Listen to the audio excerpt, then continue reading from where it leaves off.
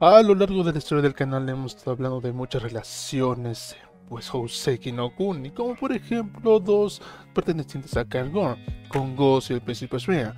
También la muy archiconocida Dia y Bor y también un pequeño corto con las gemelas Amatista. Y ahora le toca la relación de eterna paciente y eterna cuidadora, la relación entre Patparasha y Rutilo. Sin más preámbulos, comencemos. Rutilo tiene una labor muy importante entre las gemas. Es la que podríamos llamar la doctora que se encarga no solamente de maquillar a las gemas con polvo, sino también de repararlas cuando éstas sufren roturas luego de haber enfrentado a los lunarios o también pues haber sufrido algún otro accidente. La figura de Rutilo es madura y lo que la caracteriza pues es su cabello de marrón rojizo y amarillo dorado y al igual sus ojos también tienen ese pigmento dorado. Rutilo no solamente se limitó a tareas médicas, sino también a la investigación corpórea de las gemas y también otras razas como los admirabiles, como cuando quiso disecar a Ventricosus. También podríamos decir que labora como psicóloga, ya que tenemos escenas como cuando habla con Sobre la citación de Shinsei y también anima a Fos a buscar un mejor trabajo que haga feliz a Sinabrio. En esos primeros capítulos sabíamos la importante labor de Rutilo entre las gemas. No por nada llevaba la bata de doctora que dejaba muy claro su posición. Pero luego nos encontramos con un gran cajón en la temporada de primavera, donde vemos otra importante prioridad en la vida de Rutilo, la cual es despertar a un antiguo compañero Pat Parasha. Pat es una gema de color rojo escarlata la cual lleva una larga cabellera. Patpa estaba integrada al frente de defensa de las gemas.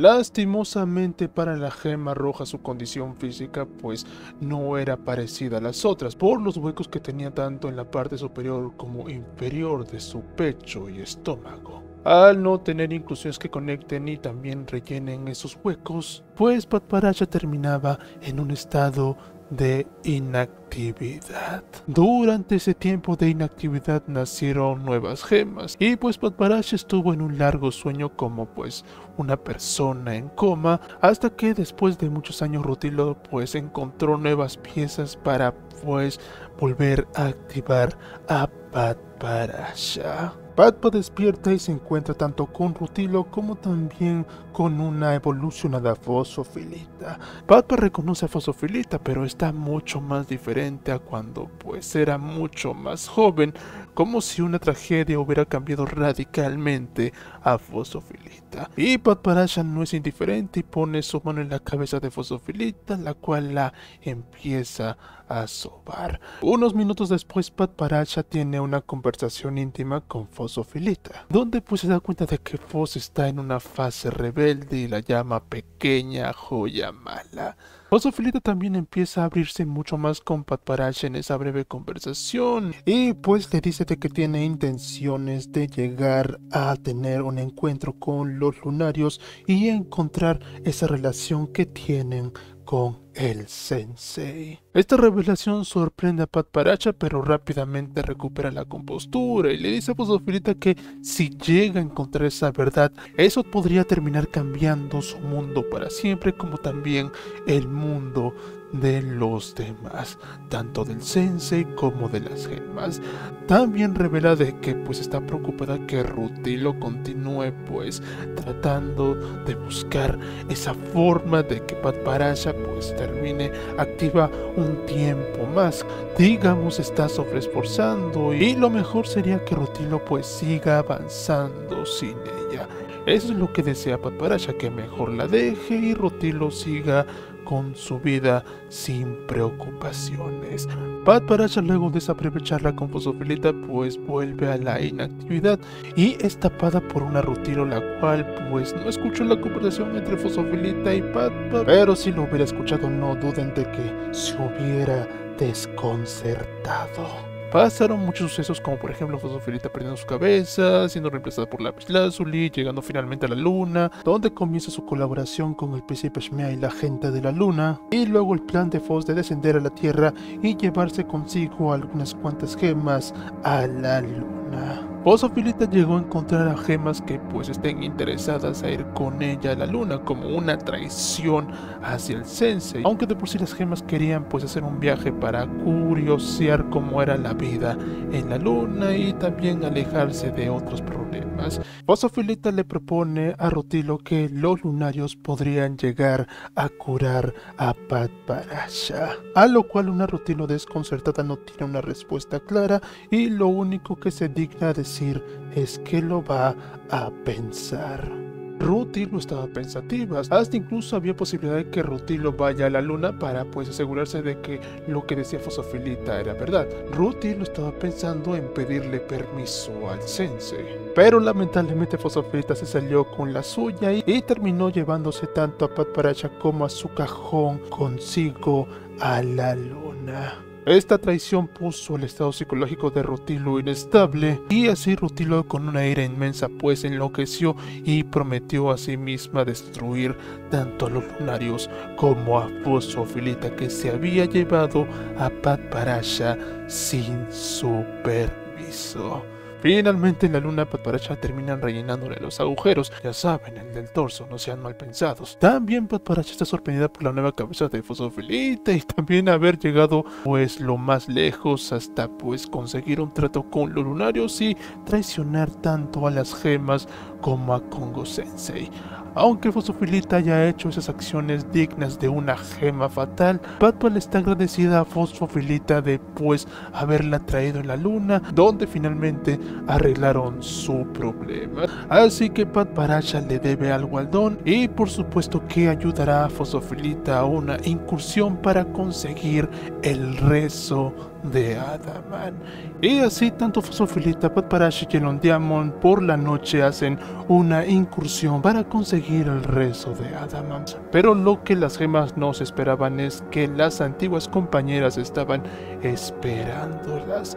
Es así como vimos pues una batalla entre antiguas compañeras y por supuesto me refiero a Pat Paracha versus Rutiro, la cual había lanzado muchas agujas punzantes directamente tanto a Pat Paracha como a Yellow Diamond.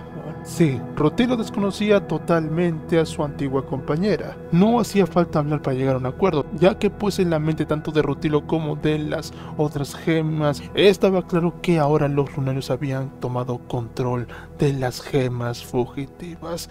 Así comenzó esta pelea que digamos es una muy corta entre Rutilo y Pat Paracha. Pat Paracha tenía su espada en el cuello de Rutilo, mientras tanto Rutilo apuntaba hacia uno de esos orificios. Yellow Diamond le pedía a ambas que se detuvieran, pero con tal que ninguna otra gema interrumpa a Fosofilita de conseguir el rezo de Adaman, Pat Paracha termina cargándose a Rutilo partiéndola en dos y también acaba con las otras gemas volviendo todo esto una carnicería. Para mala suerte de la misión de Fosofilita, las gemas terminan ocultando muy bien a Adaman y para mala suerte de Fos, Pat Paracha y Bor, pues terminan bañadas por el veneno de mercurio proveniente de la mismísima Shinsha. Al final, Fosofilita, Yellow Diamond y Patparaya son rescatados por los lunarios, liderados por Kergon, la cual pues usa métodos más violentos y ordena pues a destruir a todas las gemas mediante flechazos. Hasta incluso hace lo mismo con sus aliados. El estado psicológico de Rutilo estaba totalmente roto luego de esa traición, que la llevó incluso a enfrentarse a un ex compañero como lo fue Patpa, y Rutilo tenía una gema a la cual echarle la culpa, Fosofilita, la cual sin su permiso se llevó a Patparacha y ahora ha descendido a la tierra para pedir pacíficamente que pues Adaman rece por los lunarios. Rútilo sin dudarlo destruye a Fosofilita sin misericordia y así pues las partes de Fosofilita son divididas y puestas pues en diferentes lados de la Tierra de las Gemas durante 220 años hasta que pues se reconstruye a Fosofilita a costa de las otras gemas. Para la misión de rescate de Fos fueron enviados tanto Patpa, Goshe y los lunarios. Estos están a punto de rescatar a Fosofilita, la cual al final termina atrapada por nada más y nada menos que Rutilo. Rutilo estaba totalmente iracunda y no dejaría escapar fácilmente a Fosofilita. El rescate de Fos tenía un precio y Pat Parasha lo sabía. Es por eso que decidió quitarse una de sus inclusiones y quedarse con Rutilo mientras los lunarios pues se llevaban a Fosfofilita. Si bien Rutilo tenía la inclusión con la cual perfectamente podría despertar a Patparasha, pues al final durante esos largos años de paz, pues Rutilo decidió no volverse a poner a Patparasha con temor que la gema de larga cabellera pues volviese a escapar de sus manos. Sí, podríamos decir como una relación tóxica donde pues hay la desconfianza por parte de uno que el otro lo termine abandonando. Y el ser que está forzando la atadura en esta relación es Rutilo. Y cuando el tiempo de paz terminó y Fosofilita descendió por lunarios y gemas lunarios a invadir la Tierra definitivamente, Rutilo continuaba con su papel de cuidador muy cerca al cajón donde se encontraba el cuerpo inerte de Pat Parasha. Rutilo no iba a hacer nada para defenderse y al final pues termina siendo destruida por los lunarios. Luego que los humanos se llevaron a las gemas y dejaron a Fosofilita en la tierra para comenzar los 10.000 años para convertirse en la nueva máquina de rezo, las gemas secuestradas fueron reconstruidas y vueltas lunarios para pues tener nuevas vidas. Y lo que vimos de Rutilo y Patparash es que pues parece que viven en la misma casa donde Rutilo ahora trabaja como psicóloga de los lunarios. Y es una total ironía ya que de por sí es bien sabido que hubo un tiempo en que Rutilo perdió un tornillo. Sobre su relación con Patparash según sus palabras, la gema roja le ha agarrado una fuerte apatía. Y muy probablemente ese sentimiento también sea con las otras gemas luego de abandonar a Fosofilita, pero sobre todo Rutiro la cual pues nunca llegó a volver a activar a Patparasha, la cual desde una vista crítica quiere decir de que aún quería mantenerla en la tierra con ella, como una jaula cerrada. También podemos contar las peleas que tuvieron y pues esta relación de por sí ha sido una muy tóxica, la cual no sabemos cómo haya sido en esos 10.000 años, pero por lo visto al inicio de esos 10.000 años pues las cosas entre ambas gemas pues no se había arreglado. Aún estaban presentes esas roturas que difícilmente pues se puedan arreglar. Y bueno, esa fue terminamos el video del día de hoy. Hace mucho quería hablar sobre esta parejita, la cual de por sí, pues el destino quiso de que no tuvieran una conversación pues mucho más profunda y más viene de parte de Pat Paracha, la cual de por sí ya pues en cierto punto había aceptado de que pues su condición era irreversible y lo mejor hubiera sido que pues Rutilo ya parara, que la dejara descansar, pero al final pues no ocurrió esa conversación, Fosofilia terminó llevándose a Pat Paracha a costa de Rutilo y eso provocó que algo en Rutilo se destruyera y cambiara para siempre. sempre.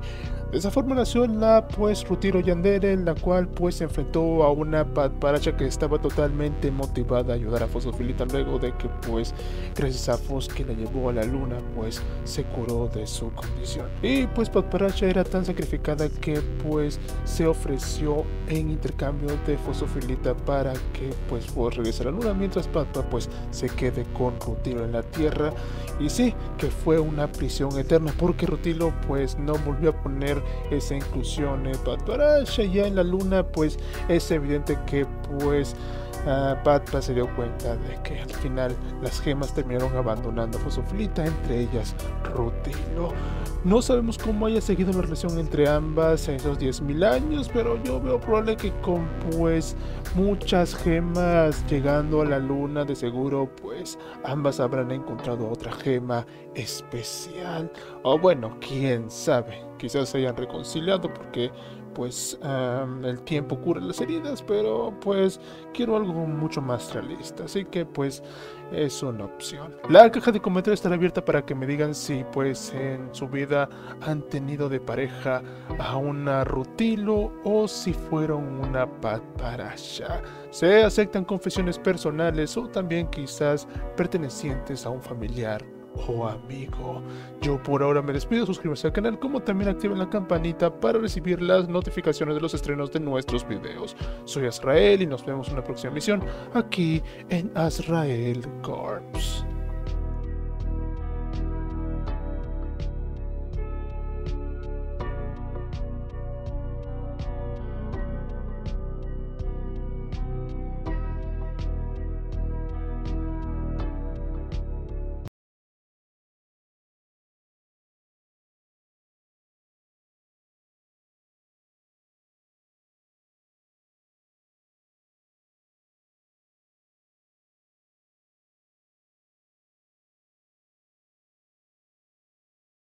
からこそ絶対。